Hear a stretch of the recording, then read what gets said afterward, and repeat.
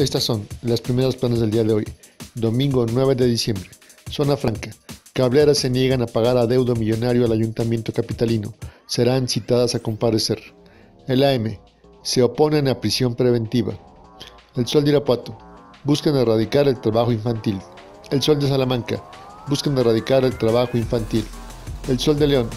Buscan cantineros reducir accidentes. El Heraldo de León. Reina Guanajuatense. El Correo.